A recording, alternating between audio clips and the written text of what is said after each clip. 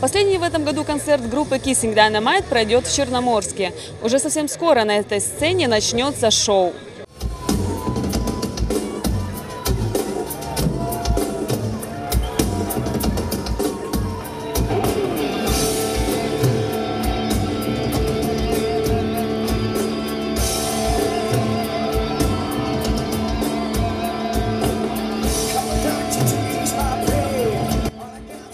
Песни Generation Goodbye из своего последнего одноименного альбома начали выступление рокеры из Германии.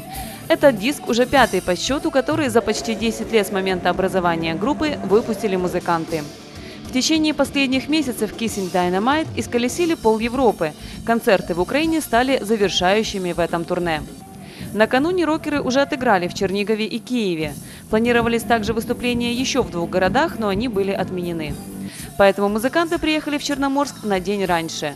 Организаторы концерта постарались сделать все, чтобы немцы почувствовали украинское гостеприимство.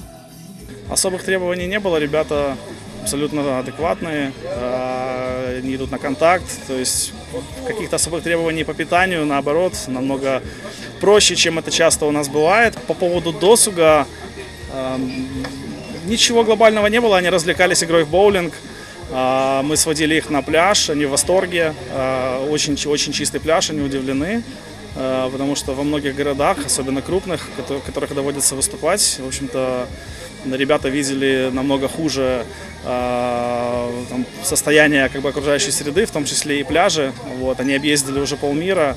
Ну, вот. Но они в восторге, они довольны. Единственное, только немножко холодно. Ну, а так в целом все хорошо.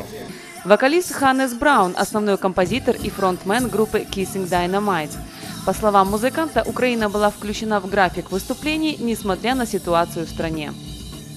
Of course, people were um, telling us, okay, be careful, some spaces are a little Им говорили, не боитесь ли вы, ведь там идет война, ну, все мы понимаем, какая ситуация.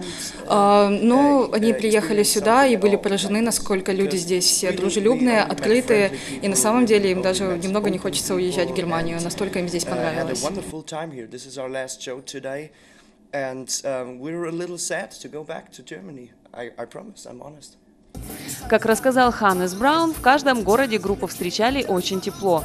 В целом у немецких рокеров остались позитивные впечатления от поездки в Украину. Давайте начнем с фанатов, um, потому что фанаты это самое главное для группы. А, их изумительно. Здесь встречают. Например, первое шоу было в Чернигове, и это было в помещении, напоминающем театр, то есть там были места только для сидения, uh, это было немного странно для них. Но а, в течение шоу люди вставали, uh, а, люди хотели танцевать, и в конце шоу вообще не было никого, кто бы um, сидел, все танцевали, все были возле сцены, и, конечно же, им это очень понравилось понравилось, они поняли, что их очень тепло здесь uh, принимают. Что до Украины, то э, здесь очень много интересных мест. Например, здесь в Черноморске они впервые uh, увидели Черное море. А, uh, были мы также до этого в Киеве. А, это совсем другой, совсем другой город. Им там тоже очень понравилось, понравились а, здания. Вот. И Украина интересна тем, что разные места и все очень разное. За время, проведенное в нашей стране, музыкант даже успел выучить несколько слов на украинском языке. Привет, Черноморск. Эм, дакую, аж пиц какую. Стать рок-звездой Ханнес мечтал с самого детства. Чтобы достичь успеха, ему вместе со всем коллективом пришлось пройти серьезный путь. По мнению музыканта, чтобы воплотить мечту в реальность, нужны три составляющие. You have to be patient, в первую очередь нужно на сто процентов верить в себя и в то, что ты делаешь. Второе – это страсть к тому, что ты делаешь, никогда не останавливаться. И третье – немножечко, но, естественно, нужна удача. Uh, Шоу группы Kissing Dynamite было наполнено взрывной энергией и позитивными эмоциями.